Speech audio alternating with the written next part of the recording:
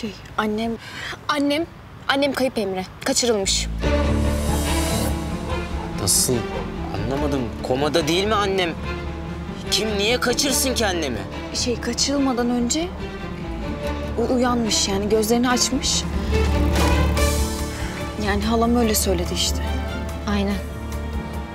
Halam mı? Hı hı. Uyandı ve kimse bize bir şey söylemedi öyle mi? Ya nasıl yaparlar bunu ya nasıl? Emre, Emre, Emre, Cemre. Manyak mısın sen? Ne ya duyması bilmesi lazımdı ama. Allah Allah. Seni var ya ben. Muzaffer Bey, araç kiralama dükkanındaki kamera görüntülerini tarattık. Kimliğine ulaştık. Şüpheli sabıkalıymış. Peşindeyiz. Tamam da kimmiş bu adam? Niye kaçırmış Nefise'yi? Ben asıl bunu... Bir dakika bir dakika ben hemen karakola geliyorum. Yüz yüze görüşmek istiyorum. Tamam tamam. Ben de sizinle yüz yüze görüşmek istiyorum. Neler oluyor? Bilmek istiyorum anneme neler oluyor?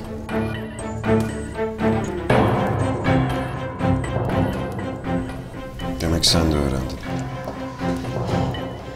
Emre. Biz zaten her şeyi söyledik. Tamam mı? Sen bir de Sen karışma abla. Gerçeği bilmek benim de hakkım. Evet.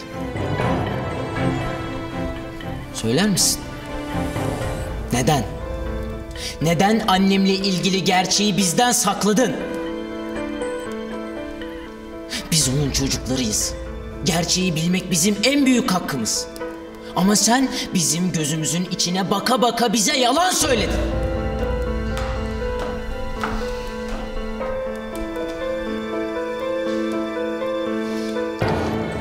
Kardeşlerine de anlatmaya çalıştım. Biliyorum bunun mazereti yok. Ama canınız yansın istemedim oğlum. O yüzden... Buna sen karar veremezsin. Gerçeği bilmek bizim en büyük hakkımızken bizim yüzümüze baka baka nasıl yalan söylersin? Muzaffer Bey söylemedi. Ben yalan söyledim. Ne bu ya? Hepiniz ayrı ayrı. Sen sus istersin artık hala. Bir kere sen kendi yeğenlerini aptal yerine koydun. Daha ne diye konuşuyorsun? Senden de yalanlarından da bıktık artık hala. Yeter.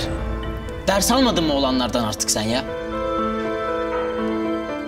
Önce yalanı sen söylemiş olsan da... Muzaffer Bey de bu yalana ortak oldu. İkiniz de suçlusunuz.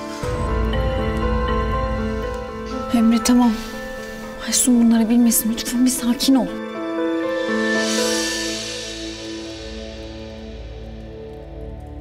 Hani dürüstlük her şeyden önemliydi.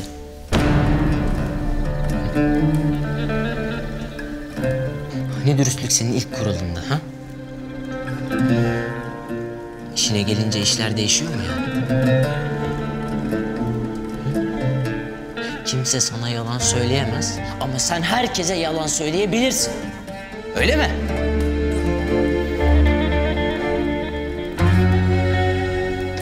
Bundan sonra sana asla güvenmeyeceğim Muzaffer Karamaner. Emre. Asla.